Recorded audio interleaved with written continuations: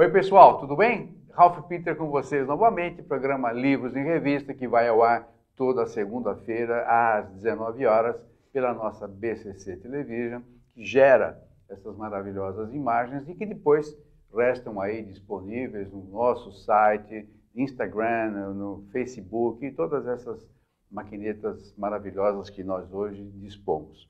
Sempre, sempre, sempre temos o firme propósito de levar até vocês bom entretenimento com elevado teor de cultura. Desta feita, uma cultura bem abrangente. Nós temos aqui a visita, a ilustre visita, que nos honra sobremaneira, João Escortese, que é o ilustre fundador, proprietário ainda, está com, com os dias contados, mas ainda... Esse é, cara editor, da editora Escortese. O Escortese, olha, cearense de bom costado, que, para nossa sorte aqui, de, da maioria dos autores brasileiros, ficou aqui em São Paulo e aqui radicou-se e, e, e, plantou grandes e boas árvores. Isso já há 37 anos? Né? 37 anos. Agora, dia 13 de agosto. Vamos completar. Isso é a editora, né? Editora. Mas você está aqui, não, não precisa falar quanto. Né? Não, cheguei em 72. Eu abri o jornal, vi uma matéria do Delfim Neto, contando a história, dizia o seguinte, que lá em São Paulo, dizia ele, você tem, você abre o jornal, tem um jornal oferecendo emprego. Eu achei isso fascinante, né? E eu tive a oportunidade de dizer para o professor Delfim, agora recentemente numa entrevista, e ele, e ele incrível, ele lembrou de onde Sim, ele esteve ele em Fortaleza falando da palestra. Que cabeça. O Delfim, o Delfim tem uma, uma memória mnemônica miserável. Sim. Você vai no escritório dele, ele tem um andar inteiro de livros, né? Então você aponta um livro, ele te dá o nome, é. o autor, o assunto, a página. Isso é então é fantástico. Maravilhoso. Fantástico. Bom, e eu acreditei eu... naquela história que aqui tinha emprego. Você faz a gentileza de deixar eu ler aqui? Não? Por favor. Ele não para de falar, é pior do que eu, inclusive. Bom, então ele fundou o Grupo Scortese, que 10 mil livros editados. 10 mil títulos. Títulos? Títulos, títulos. títulos. Isso só em primeira edição, existe uma diferença. Aí você tem que somar Sim, claro. Eu já não tenho a quantidade de edições, sem contar as antologias aí. Antologias? Por volta de 120, 130. Mas esse número não é preciso. Eu ainda vou levantar um dia. Você já está perdendo o controle, hein, velho? É Cuidado, difícil, hein? É difícil controlar. Porque. Bom, também é, é difícil controlar. Vocês não fazem ideia a atividade que este moço tem. Conta aí. A Bigraf. A Bigraf São Paulo, a BTG. Eu sou é, é, é diretor eleito da Câmara Brasileira do Livro. E aí vai. Você sempre, desde que você veio para São Paulo, sempre teve essa trajetória As empresarial entidades. ligada a gráficas. As entidades, As entidades do livro, né? Eu, eu sou daqueles caras que acreditam na entidade. A entidade pode fazer muito pelo não, E você é bem atuante. Eu, eu não consigo ter o ritmo que você tem, não consigo acompanhar, mas uma ou outra coisa a gente fica sabendo. E de fato, você é alucinante, né? É, tripolar, tripolar, tripolar, tripolar nível 3. Bom, Vamos encurtar essa história que isso vai longe. Ele trouxe ao mundo o seu 15º livro, pelo menos os que você gosta de os dizer que... que... Gosto, daqueles que eu acredito e que eu tenho amor por eles. Você acabou de me falar. Dos cheiros de tudo. Memórias do olfato. É. Com, aliás, com umas ilustrações que eu, que eu escrevi aqui, dignificantes ilustrações.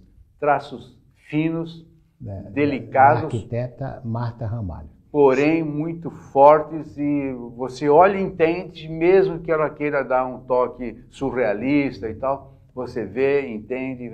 Marta Ramalho. Marta Ramalho. Parabenize a Marta Ramalho, que realmente. Recado será dado e ela vai assistir. Dificilmente uh, a gente vê. Normalmente as ilustrações são adquiridas, já implantadas e tal na marra. Se você desenhar dorso de mulheres sem ficar piegas ou sem ficar é, vulgar, né? É um negócio uhum. muito difícil. Você vê que são só dorsos, cangotes, na expressão popular. Um cheirinho. Sim. e eu, na realidade, usei o que a gente chama de memórias do olfato. Todos nós temos memórias de bons cheiros, né? Não, o cheiro da cozinha, o cheiro da terra. Somado cheiro... à mulher. Né? Então, quando você fala terra, quando você fala mar, você tem que pegar esse cheiro do mar, que todos nós temos dentro do nosso olfato, né? e, e coloca no dorso, no cangote de uma mulher. Mistura é, esse cheiro com o cheiro do corpo de uma mulher. Essa é a ideia, são 21 cheiros. E aí, e aí como é que você trata isso no livro? Vamos falar do livro, já que você abriu aí. Se se diz no sentido se é um livro erótico? Não, não. Não, não. Se for Não. também. Não é. escuta. É um livro sensual, claro, sensual, né? E, mas é um livro, ele é a continuação de um, de um primeiro livro chamado A Maçã que Guardo na Boca. A Maçã que Guardo na Boca eu lancei há quatro anos atrás, estive aqui no seu programa. É, é, aí lá eu usei o sabor, o paladar, a saliva, a saliva colocada no corpo de uma mulher. Hoje não, hoje eu estou falando só de cheiros. E falta um terceiro, que é só olhar. Olha. E eu vou escrever o próximo. né? Sobre- Como é que você consegue? Agora, é, porque você é um, um- é um empresário de Sim. sucesso e tal, e porque você trabalha bastante, é um, é um lutador, efetivamente. Felizmente, nunca perdeu essa característica, apesar de ter amealhado uma fortuna miserável. Mas ah, como é que você consegue tratar a poesia e a, as coisas críticas sérias, particularmente num país como o nosso, que o administrador, eu falo que não é proprietário, é proprietário. Uhum. Como é que você consegue distinguir essas duas facetas? Ou seja, você é um poeta de noite, administrador de manhã ou não tem? Não tem essa divisão. Eu acho que hoje é muito fácil. Com o amadurecimento, eu estou para 63 anos, eu, eu divido isso com Tá muita velhinho, clareza. tá Velhinho, né? velhinho, velhinho. Então, 63 anos, sabe, Ralf? Eu, eu aprendi a dividir todas essas coisas. Eu tenho o meu tempo para escrever, meus horários, meu horário para pedalar, meu horário para cuidar dos negócios, na hora para escrever, eu continuo escrevendo. Então, isso tudo com o tempo eu fui encontrando esses horários. Onde está o difícil? É a disciplina. Uhum. Então, por exemplo, eu levanto muito cedo. Primeira coisa que eu faço é escrever. Porque a cabeça está boa, você usou uma série de coisas que você escutou, que você viu falar durante o dia, você registra aquilo. Você se afasta da- das notícias ruins, não? Olha, notícia ruim é, é- é- é uma ferramenta maravilhosa para você escrever. Qualquer assunto, o uso de palavras, né? Por exemplo, você pega uma palavra que está sendo, que você vê na mídia com grande frequência, você vai atrás daquela palavra, aquilo vira um texto, vira uma observação. Mas então você armazena, porque eu, eu, Eu guardo, eu se eu, anoto. tenho, eu preciso anotar, justamente. Não, Você, vem um, você, por exemplo, como eu menciono, você está andando na Paulista, que é um, um prato cheio, um caldeirão de coisas diversas, né? Pessoas e coisas diversas, acontecimentos, inclusive, horrorosos e bons.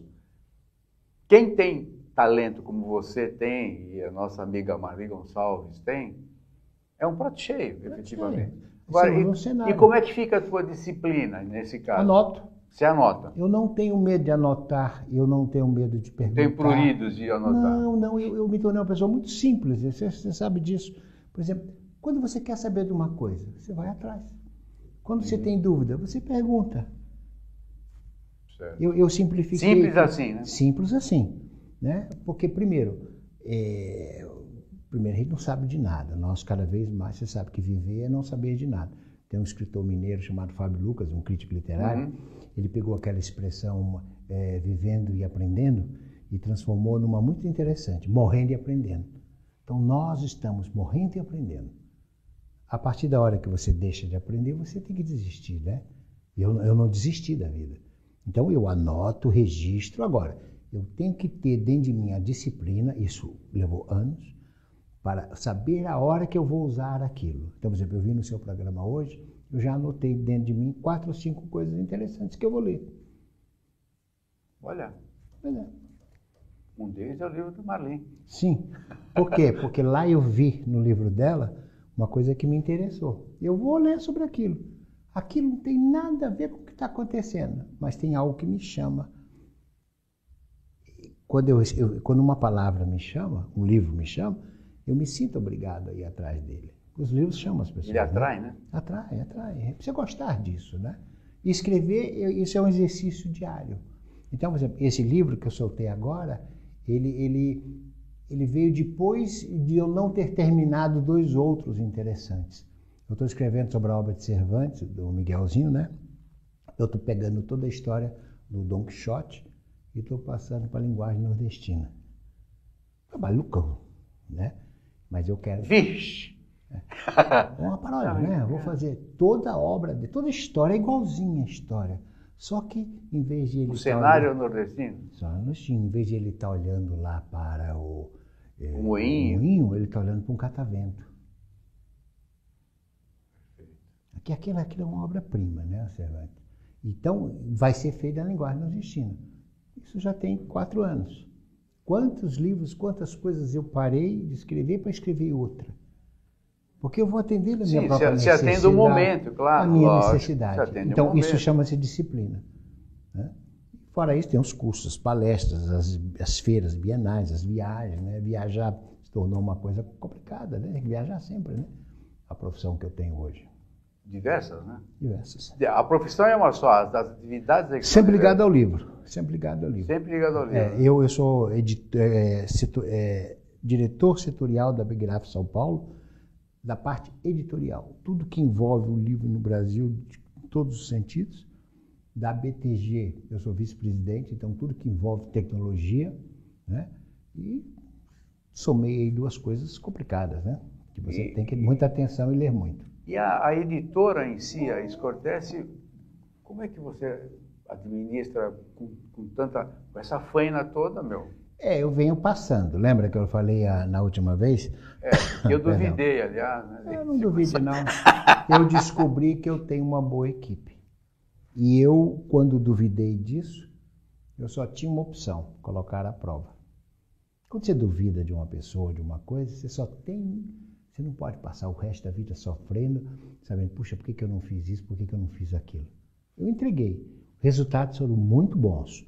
Claro que teve falhas, principalmente na parte de, eu não diria financeira, na parte de gestão do negócio. É de conhecer o perfil do leitor, do, do escritor brasileiro.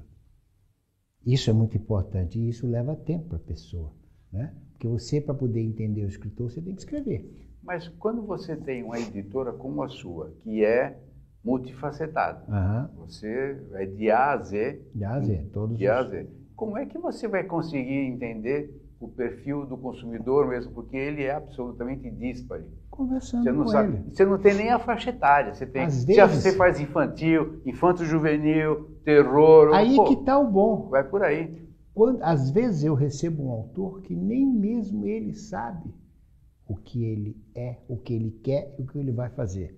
Ele chega lá com gente que chama de síndrome de Paulo Coelho, tá? O cara vai fazer um livro, ele acha que primeiro ele está escrevendo o melhor livro do mundo, segundo Sim. que ele vai vender Vai milhares de exemplares. É, o que, que eu faço? A primeira coisa, primeiro escutar. Escutar o que ele tem a dizer, né? E depois eu vou mostrando para ele que as coisas não são bem assim. Porque o mercado mente muito, né? Fulano lançou um livro, vendeu milhares. Gente, vender livro nesse país é muito difícil, tá? É, e em alguns assuntos, por exemplo, poesia, né? Vamos pegar poesia. Nossa, não vende de jeito Não nenhum. vende, porque é, é, é, se escreve muita poesia, mas se vende muito pouco. Então, qual é o público de um poeta? O público de um poeta é, esse seria a sua família, o local onde ele trabalha, a comunidade, vida literária, é um, é um leque cada vez menor. Em 1972, vou te dar um número sem entender, um escritor novo vendia até 400, 500 exemplares. Hoje, hoje, as tiragens estão de 100 exemplares, 150, no máximo 200. E lambe o beijo. Né? Não tem muito sentido. E o preço caindo. Né? O preço caindo. Aí, o- a margem de lucro sempre sendo o, o apertada. livro precisaria rapidamente recuperar o seu preço justo. Né? O livro se tornou algo muito barato no país, muito barato. Muito barato. Muito barato. E não consegue mais remunerar a cadeia produtiva. Eu sempre falo 100% é 100%. Tá? Se você pega algo muito barato, você, sobre o preço de capa, você já deixa 60% para a livraria e o distribuidor. E você fala, puxa, 60%? Sim. Só que em valor de dinheiro de mercado, esses 60% não consegue mais sustentar o negócio. Aí você tem 10% para o autor, que é hoje insignificante o valor de capa. Então, quando você divide. Dá isso nada, não- dá isso nada, dá nada. dá nada para ninguém. Por quê? Porque Dá o nada para todo mundo, aliás. Dá nada para todo mundo. o livro não tem produção, despesa, é, o intermediário e o varejo. O livro não é isso. O livro tem ilustrador, capista, revisor, tem todo aquilo que a gente chama de faz parte da produção editorial. Depois, ele vai para a gráfica e tem os insumos de papel. Isso é somado ao produto. Depois, ele vai para a distribuidora, ou vai venda direta, mas quando ele vai para a distribuidora, ele ganha mais 20% sobre o valor de mercado. Então, vai indo. Existe uma coisa no livro também que a gente chama armazenagem, estoque, uhum. depreciação desses. Então. O espaço é, logístico ali, né? O livro, Ralph, passa por diversos pontos. Quando ele chega no varejo, você é obrigado a vender a 38, 40 reais. E, e, infelizmente, o poder aquisitivo brasileiro é muito baixo. Não há o hábito da leitura, isso é uma grande realidade. E isso fica caro o livro. E além de não ter o hábito da leitura, ele, ele deixa de ser prioritário quando você não tem o dinheiro, né? Sim. Como em, tudo. Embora o cara não vai deixar de comprar um almoço para comprar um livro. Muitos fazem isso, é. mas é uma uma merreca. Ele ainda tenta tem. comprar livro mais barato, ele tenta, ele, ele tem as bibliotecas. Agora, você vê que a coisa é crônica. Se nós tivéssemos bibliotecas boas, Qualquer um poderia ler qualquer livro. Mas a desatualização da biblioteca é Não há uma lei que obriga toda editora a mandar. Um Não, isso livro. é o depósito legal. Depósito legal. Essa lei é do Dom Pedro II, um cara do qual nós brasileiros devemos muito, que fez a Biblioteca Nacional, Sim. o Banco do Brasil. Dom Pedro criou a lei mais antiga de proteção do livro. O que, que diz? Que tudo aquilo que foi impresso no Brasil, jornais, revistas, livros, deve o editor deve encaminhar isso para a Fundação Biblioteca Nacional. Chama-se depósito legal. Essa lei depois passou no governo, se não me engano, no governo Lula. É, a essa lei, ela passou por uma transformação por causa da chegada do mundo eletrônico, mundo digital, chamado e-books, audiolivros e essas coisas todas, né? Mas é a lei de maior proteção do nosso patrimônio. Qualquer pessoa que vai escrever sobre qualquer pesquisa vai na Fundação Biblioteca Nacional. Para isso, depois nós temos as leis de direito autoral, direito do autor, 9.610.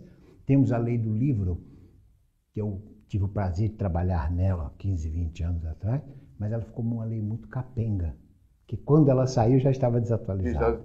Né? Mas a lei do livro é brilhante. Só para você ter ideia, antes da lei do livro, não existia a figura do editor, não existia a figura Como do assim não existia? Não existia.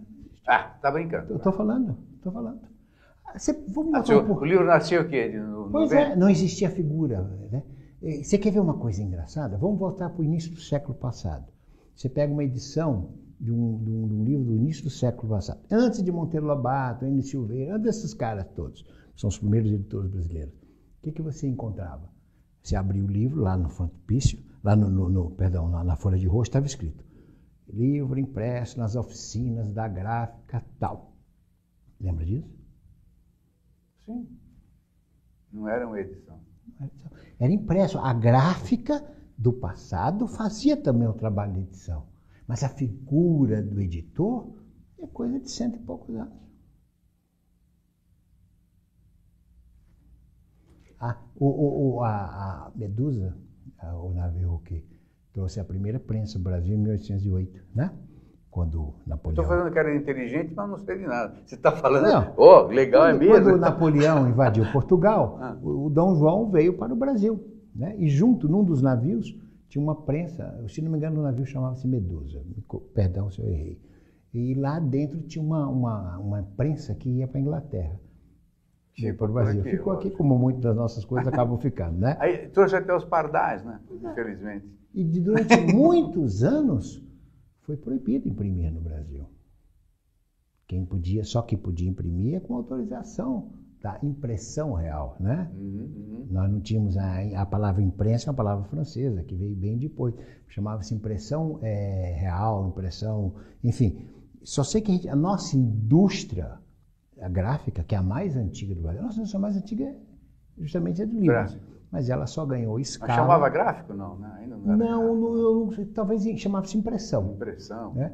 E ela só ganhou escala de produção no início do século passado. Já que você mencionou todos esses problemas, essa, essa cadeia cultural toda aí, Veio os e-books que acho que não sei se pegou, não pegou. Não vai, todos nós sabíamos que não ia pegar. Né? Pois é, eu, eu não consigo ler. Eu tenho que sentir Conversamos por o cheiro quatro do livro. anos atrás. Eu né? tenho que sentir o cheiro do É. livro, justamente. Você tem que sentir o cheiro de tudo e eu sinto o cheiro do livro. A cola para ficar ligadão e tal. Mas, Tem um capítulo sobre cheiro mas uh, e qual é a. Você vislumbra alguma solução ideal para que o, o, o, o ser brasileiro possa se cultuar um pouquinho mais, tendo a possibilidade de comprar um livro mais barato? Qual é o mecanismo? Mais Existe? barato, não. Não. Eu não acredito nisso. Tem que ganhar mais mesmo. Tem que ganhar mais, você tem que formar bibliotecas. O, o- do jeito que o livro está no Brasil, o autor não ganha, o livreiro não ganha, o distribuidor não ganha, ninguém ganha. Nós não estamos conseguindo remunerar mais a cadeia produtiva. Estamos dando um tiro no pé, tá certo? Então, primeira coisa, recuperar o preço do livro. Ah, poucas pessoas vão ler, vão diminuir a quantidade de tiragem. Sim, qual é o problema? O que, que adianta a gente deixar 135 milhões de livros encalhados? E é esse, um, esse é, um, é um número, é um número. É um número, ele pode ter 135 milhões. milhões. Por que o editor, por que, que ele faz mil, dois mil ou três mil? Ele faz para um negócio chamado unidade subsequente da produção. Ele precisa fazer isso para poder baratear o custo unitário. A esse custo unitário, e ele também precisa diluir os seus custos de produção. O papel, o papel é proporcional. Se você faz mil livros, ele usa o dobro de papel de 500. Gráfica não. Gráfica precisa ter volume e quantidade para ter preço. Por isso que a impressão sob demanda, as pequenas tiragens cresceram nesse suporte. Por quê? Ela atende uma necessidade do mercado. Tudo é necessidade, mas para o mercado nós precisaríamos voltar urgentemente a fazer tiragens maiores. Só assim você baixa o livro. E o problema da necessidade é que você tem solução pontual. Sim. Você não tem uma coisa a médio e longo prazo. Pontual. O Brasil tem hoje, segundo a pesquisa Apta Leitura, 23 milhões de leitores. Vai para cá, vai para lá. Se você olhar isso, é muita gente. 23 milhões é mais do que a população de muitos países da Europa. Só que não, nos- não nos esqueçamos que o Brasil tem 210 milhões. 10% só. Né? Pois é. Eu até acho que é uma grande galera. Nós não temos alguns grupos com 1 milhão, 10 milhões, 20 milhões, não temos. Só que por- o livro, ele é a ferramenta da educação. Respondendo agora a sua pergunta, como é que se melhora um país? Educação, educação, educação. Não Está é provado isso, a larga. Né? desde a Coreia, Uhum. né? quando a divisão da Coreia do Sul e da Coreia do Norte. Bom, o que, que eu acho que está acontecendo? Eu não acho que é, nós não estamos avançando, pelo contrário. Nunca a educação teve tão sucateada. Os problemas, se a gente for listar, são imensos. Mas a verdade é que o hábito da leitura faz parte da educação. Nós não estamos educando nossas crianças. As pessoas não estão conseguindo mais ler. Nós temos uma geração, Ralph, inteira lendo manchete. Sim. O cara olha a manchete, abre o celular, Já deduz, inclusive. né? deduz. A Folha de São Paulo, recentemente, fez- errou uma matéria, publicou uma, uma, uma, uma manchete e o texto era outro. Ninguém conseguiu perceber, pouquíssimas pessoas. Que barrigona. Porque o cara lê a manchete e ele se acha informado. Hoje, hoje, se eu, acompanhando o teu raciocínio, se eu tenho que mandar duas perguntas para uma pessoa via e-mail, eu mando dois e-mails. Porque senão você tem a solução de uma resposta, de uma pergunta só. Pois é, ninguém lê mais nada. Existe um- uma brincadeira que a gente sempre fala: ninguém está lendo mais nada. Então, o que, que a gente precisa fazer? Frear um pouco. Nós não precisamos. A tecnologia é Frear o quê? bom, tudo, tudo. Nós temos que passar o país a limpo. O Brasil está perdendo um pouco da, daquilo que conquistou como democracia. O Brasil está perdendo os seus intelectuais, seus cientistas, está perdendo os escritores. Agora, se, se, se chegar a tal da flexibilização da lei do direito autoral, o governo está querendo mexer nisso. Você perde conteúdo. Perdendo os seus cientistas.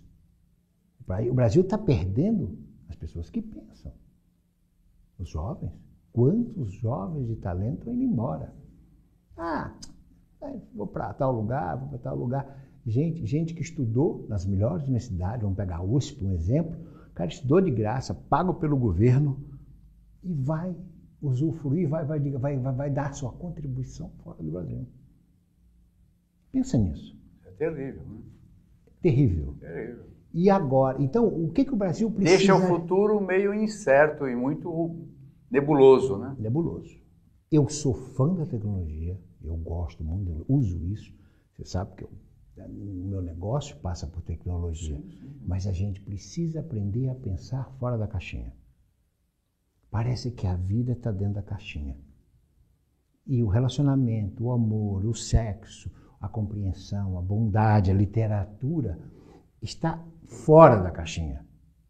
Então, a, o, que, o que é a caixinha? É um, é um kit muito bem feito, muito bem embalado de ferramentas. A vida fora precisa usar esse kit com sabedoria. Mas o que está acontecendo é o seguinte: as pessoas estão mergulhando dentro da caixinha e tentando viver lá. É o que eles chamam hoje de perfil. Isso é muito ruim. As pessoas querem, então a pessoa acorda, bom dia, boa tarde. É, lá ninguém morre, lá tem as pessoas têm dez vidas, ninguém fica doente, todo mundo é lindo e maravilhoso. Essa não é a realidade. Isso é coisa de videogame, né? E ainda só para completar isso com a coisa que é importante, nós precisamos aceitar a nossa fragilidade. Nós somos frágeis. Se a gente não trabalhar a nossa fragilidade, como é que se trabalha a fragilidade? União, respeito, educação, um pouco do que a Marli falou, né? De voltar a pensar. Nós paramos de pensar. Que mal tem isso? Eu nunca descobri alguém que, por pensar ou por ter o ato de pensar, ficou doente ou passou mal. Mas você não acha que isso pode ser também, infelizmente, João, estamos terminando. Pois não. Você não acha que isso, desde de jovem eu, eu penso nisso, nunca tive provas, embora elas estejam aí à nossa vista, que essa falta de cultura, falta de educação, esta, esta, o não pensar, me parece uma orquestração, uma manipulação proposital para administrar o populacho, o gentil. Sempre, olha, se isso for verdade, do qual eu acho que você está certo, mas se isso for verdade, nós como civilização não evoluímos nada, porque essa é uma técnica Sim. usada há milhões e milhões de Justo, anos. justamente. Aquela história, dar para o é. povo o pão, o brioche, tá certo? Então o que você está falando é o seguinte. De vida para poder. Eu acho até que você tem razão. Mas se isso for verdade, dói muito saber. Significa que nós não crescemos como nada. seres humanos, né? como ser humano, com bondade, como respeito. A pobreza no mundo está tão grande que o desequilíbrio é tão significativo que isso torna tudo muito perigoso. Nós hum. precisamos encontrar uma forma de distribuir melhor a renda. Eu não estou dizendo nada de pegar daqui e jogar lá. Não. não. Nós temos que fazer com que as pessoas encontrem prazer no trabalho, que, que cada um tenha a oportunidade de fazer aquilo que quer. Até mesmo de não fazer nada. Conscientemente. É. Hoje nós estamos vivendo a falta de opções. Até mesmo para quem quer fazer alguma coisa. É terrível isso, né? É muito triste. O terrível já foi, né? E olha, que nós, e olha que nós, aparentemente, evoluímos bastante como sociedade. Mas é. Não, se... não, não, Você, você pega do estudo do papel social? Não. Eu, eu, não evoluímos nada. Nós estamos convivendo nas cidades por comodismo. Nós não evoluímos como sociedade. O, a nossa estrutura de consumo é precária. O nosso. A, a, o, você pega transporte, você pega. Nossa. É um caos. Nós não evoluímos. Nós não evoluímos. As nossas cidades, grande parte da cidade brasileira não tem esgoto. Isso era um assunto do, do, do, da Idade Média da Europa, cujo objetivo era ter esgoto. Saúde. Você pega a saúde brasileira, eu não vi revolução. Nós somos manobra. Aí eu estou 100% com o que você acha. Nós somos massa de manobra.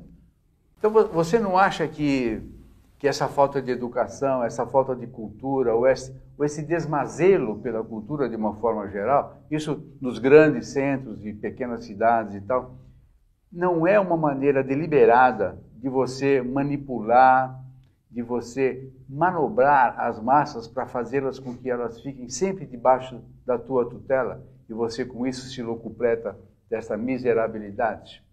Concordo. Eu, eu, é, uma neuro, é uma neurose isso, mas, é, mas é, não tem cê, muita cê explicação para isso. Ralf, que a gente não mudou nada do que era no passado. Se tudo isso que você está falando, do qual eu concordo, é verdade, você pode ver que nós não melhoramos como sociedade. Nós vivemos em sociedade, né? quando a Arenal fala que o homem é um ser social, nós não somos nada disso. Não somos nada disso. Nós somos egoístas, nós poucos estamos interessados é, naquilo que o outro tem a nos dizer, as pessoas não escutam mais, né?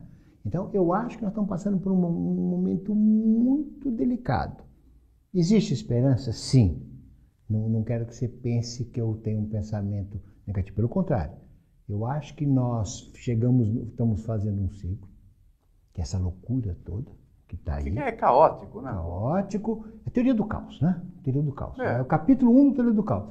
O que, que vai acontecer? Eu acho que em determinado momento as pessoas vão acordar. Vão começar a olhar que a vida não é dentro da caixinha. A vida é fora da caixinha. Tudo que você quer fazer de bom, não só para você, mas para o outro, você tem que fazer dentro da caixinha. Fora da caixinha, perdão. É o contrário, você tem que fazer uhum. fora. Então, na hora que a gente perceber, a gente vai é, começar a reencontrar a família, os amigos. Né? Outro dia eu estava vendo num bar, jovens sentaram, num grupo, sentou e cada um ficou mexendo no celular. É uma síndrome isso aí. Né? Síndrome. E eu vi, no mesmo dia, na mesma hora, um outro grupo, talvez um pouco mais velhos. Eles sentaram e viraram o celular. Uhum. Dois grupos. Um totalmente conectado a nada, e um outro grupo extremamente interessado em conversar entre eles.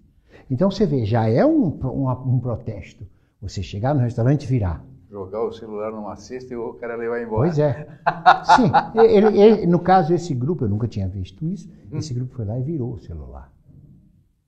Quem sabe um dia. Ou seja, agora é hora do papo. A, da avião, convivência. Peguei um voo semana passada. Antigamente você só viu o pessoal com laptop, tablet. Uhum. Eu tinha seis pessoas lendo livro na plataforma papel. Porque chega uma hora que cansa também, né? Cansa, cansa. Tudo isso vai passar, né? O, o, claro que a gente não pode negar tudo isso, uhum. tá certo? Agora, voltamos àquilo que eu te falei no início. Nós precisamos de um negócio chamado educação, e urgente. Sim. As pessoas tudo precisam... Pela, tudo nasce e passa pela educação. Educação. Né? Citando só o caso da Coreia, né? Na, eu era criança, quando o repórter Times perguntou lá para o líder da Coreia do Sul, quando, como no término da guerra, perguntou como é que ele ia reconstruir a Coreia. Né? E a palavra dele, eu vou trabalhar com educação. E ficou quieto. Aí o repórter do Times falou, mas só isso, né? Oh, só isso? É, só isso. É tudo isso? É tudo. O resto vem. Então, o, o, nós precisamos que os nossos governos parem, uhum, tá certo? E comecem a olhar, nós vamos investir em quê? Esgoto ou educação? Nós precisamos ter saúde. Saúde é menos custo para o Estado. Tá certo? Você vê essa campanha de vacinação, é uma vergonha. Nós não conseguimos vacinar mais nem as pessoas. A desinformação é total.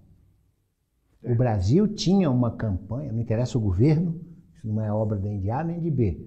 O governo brasileiro tinha erradicado várias, várias doenças.